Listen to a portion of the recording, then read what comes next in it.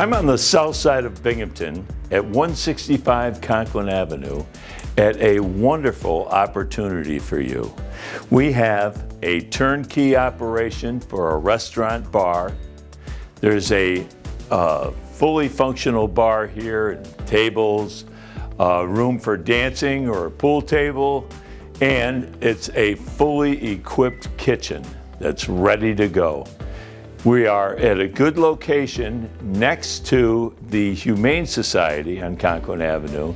And uh, well, right next door to that is the Relief Pitcher and uh, all those stores in that little plaza there. Now, the Relief Pitcher has always done a good business there, so the location is good. We're right along the river. There's an outdoor patio, plenty of parking, and inside we have fully operational kitchen, the bar, the systems are all in place.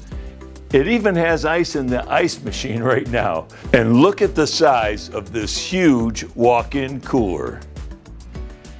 So it's ready to go. If you're interested in buying a building and leasing it for investment or, or buying a building and running your business here, or if you'd like to lease this business, that's a possibility as well.